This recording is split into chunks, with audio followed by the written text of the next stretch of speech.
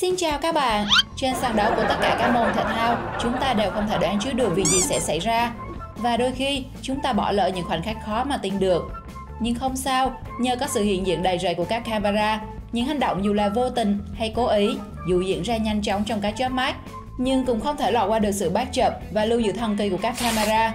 Vậy nên các bạn đừng lo, bởi có rất nhiều khoảnh khắc ấn tượng của các cầu thủ, vận động viên mà Thế giới hôm nay sẽ giới thiệu với các bạn trong video hôm nay. Giờ thì chúng ta hãy cùng khám phá video Camera vô tình quay lại 20 hành động đáng sợ đã xảy ra trong thể thao nhé. Đấu võ đài trong một buổi cân trọng lượng hai võ sĩ trước khi bước vào trận đấu, sau phần giới thiệu, hai võ sĩ MMA đã có màn chào hỏi đi vào huyền thoại. Trong hai anh chàng cứ như là muốn nện nhau ngay tức khắc ấy. Sân si một hồi thì điều bất ngờ đã xảy ra. Alex Red bất ngờ có hành động homo đối thủ của mình là Jason Barrett trong sự ngỡ ngàng của những người có mặt.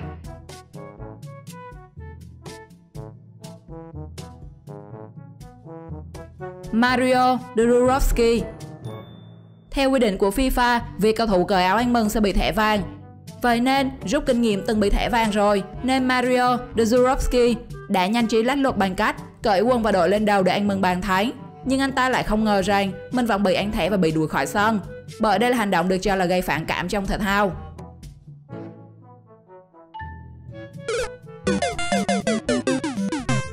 Sarah Hunter Trong một trận đấu bầu dụng nữ, nhiều người đã thật sự bất ngờ trong tình huống cả hai đội đang cạnh tranh khốc liệt thì vận động viên Sarah Hunter bị kéo tuột chiếc quần đùi để lộ cả quần chiếc màu đen bên trong. Thế nhưng nhiều người vẫn đánh giá rằng Sarah Hunter đã thể hiện trong trận thi đấu nhiều hơn và ý nghĩa hơn việc cô ấy bị sự cố khó đỡ này.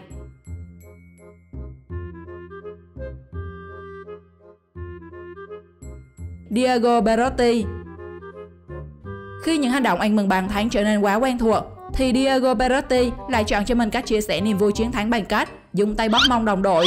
Hành động kỳ quái này đã khiến khổ chủ quay lại tìm thủ phạm và rất may là anh chàng chỉ bật cười vui vẻ. Có lẽ đây chỉ là trò đùa vui quen thuộc giữa hai ngôi sao của Roma.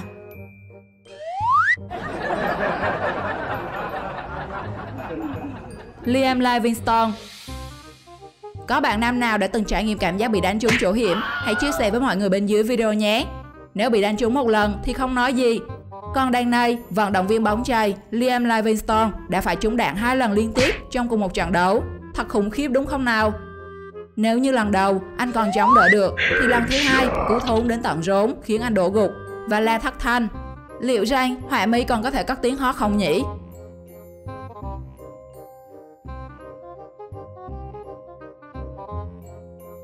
Jude Bellingham Trong tình huống anh mừng bàn thắng của Hà Lan, Jude Bellingham, cầu thủ của đội Dortmund, đã có cú làm tưởng nhớ đời.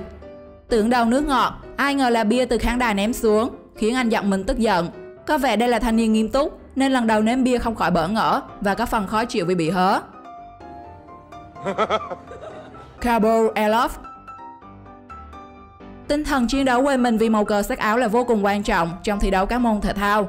Chính vì thế khi chiến đấu hăng say, vận động viên bầu bầu dục Cabo Elof đã gặp phải sự cố rách quần lộ cả quần bên trong. Tuy nhiên, điều làm khán giả bận ngửa và cười không nhạt được mồm vì cái quần lót trong có màu hương các bạn à.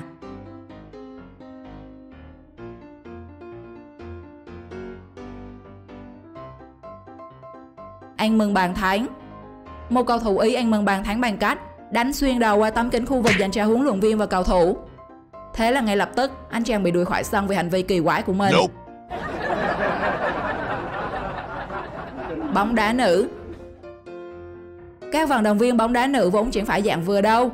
Một cú thụt cùi chỏ vào ngực, đổi lại một cú đánh cùi chỏ vào lưng. Khoảnh khắc ăn miếng trả miếng này đã được camera quay lại, làm nhiều người cảm thấy sự cạnh tranh của môn thể thao vua này thật đáng sợ.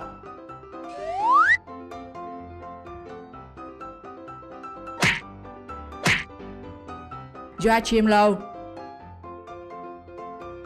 Camera đã vô tình ghi lại được một hành động có thể khiến nhiều người nôn ói của Joachim Low Người đàn ông này đã liên tục có những hành động đưa tay vào quần, sờ mông, rồi sau đó đưa lên mũi ngửi.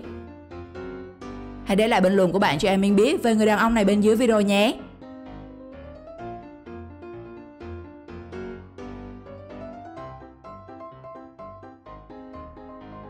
Phóng viên thể thao Làm phóng viên thể thao và có màn phỏng vấn ngay người yêu, cô nàng Vlada Sadan đã nhận được màn cưỡng hôn tình bể bình từ ngôi sao bóng đá người Ukraine Oleksandr Zinchenko. Người xem đều rất ngạc nhiên và khó hiểu về hành động này ngay tại thời điểm ấy. Nhưng sau đó, anh chàng này cũng xác nhận đang hẹn hò với nữ phóng viên. Và vài tháng sau, Zinchenko đã có màn cầu hôn gây sốc ngay tại sân vận động và nhận được lời đồng ý từ nữ phóng viên thể thao xinh đẹp. MC truyền hình Ghana Kết quả Seria được một MC công bố ở Ghana. Bạn nào hãy trả lời dùm admin. Đây là kênh truyền hình hay là kênh tấu hài? Hoặc giả trình độ tiếng Anh của nam MC này đang ở level nào? Nhớ là để lại đáp án của bạn trong phần bình luận nhé. Neo Spezia 3 Liazzi 1 Juventus 1 Atlanta International One.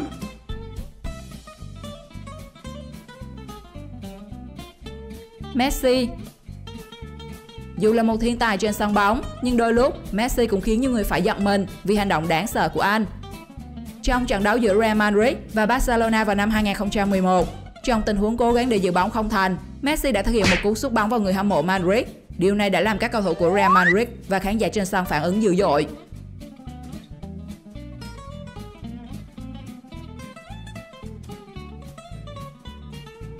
Nữ vận động viên Có lẽ Gillian Cook đã bị thưa con trước khi giải vô địch thế giới năm 2010 diễn ra ở Thụy Sĩ. Vì vậy, khi cô cúi xuống để bắt đầu cuộc đua, người xem đã được cận cảnh nhiều hơn những điều họ mong muốn được chứng kiến khi chiếc quần của cô bất ngờ rách toạc. Đấu vật với cô gái Đè đầu cưỡi cổ là có thật các bạn à. Trong trận đấu vật này, bạn nghĩ phần thắng sẽ nghiêng về phần ai? Hãy comment câu trả lời của bạn trong phần bình luận. Và giờ thì xem kết quả. Dù ban đầu có hơi yếu thế, nhưng cô gái đã giành được ưu thế và cuối cùng là đè đầu cưỡi cổ người thanh niên. Ginobili Một con dơi đã bay lạc vào và làm ảnh hưởng đến trận đấu bóng rổ. Nhưng rất nhanh, anh chàng Ginobili đã hạ gục con dơi trong vòng một nốt nhạc ngay giữa trận đấu, chỉ với một cú vung tay đầy uy lực. Vận động viên tennis tức giận Giận quá mất khôn, ông bà ta nói không sai. Roger Federer đã có một pha hành động khiến các fan xem trên khán đài phải rớt tim khi anh không kìm được cơn giận dữ và có một cú phát bóng cực mạnh vào khán đài. Rất may cú phát bóng không làm ai bị thương. Dù là một idol, nhưng đôi khi cũng trở nên đáng sợ phải không nào các bạn?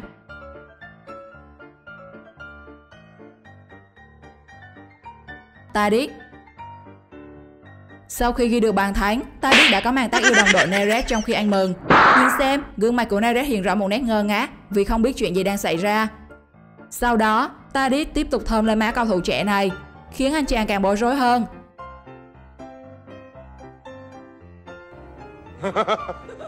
Tự hủy Tức giận vì bị thủng lưới nha, anh chàng cầu thủ này đã có cú sút bóng cho bỏ tức. Thế nhưng có ai ngờ rằng tức lại càng thêm tức khi quả bóng bị anh đã bị trúng cột dọc đập ngược lại vào mặt anh ta. Một pha tự hủy khá đau. Bằng chứng sơ sơ là anh chàng cầu thủ này ôm mặt khá lâu và nhiều người khi không khỏi phi cười vì tình huống chớ trao này. Thà chết không buông Một tình huống hết sức hài hước đã được camera quay lại tại trận. Trong khi tranh chấp, hậu vệ Mohamed Mostafa Do đã lỡ té ngã trên sân nên cố gắng ngăn cản pha tấn công của đối thủ bằng cách dùng tay ôm chặt chân của tiền vệ Mahmoud Abdel theo kiểu thà chết không buông. Cả hai đã tạo nên cảnh lôi lôi kéo kéo trên sân, khiến người xem cười rụng răng. Cảm ơn các bạn đã cùng thế giới hôm nay khám phá hết video. Tình huống nào làm bạn thích thú nhất thì hãy comment cho mình biết trong phần bình luận nhé. Xin chào và hẹn gặp lại các bạn trong các video sau.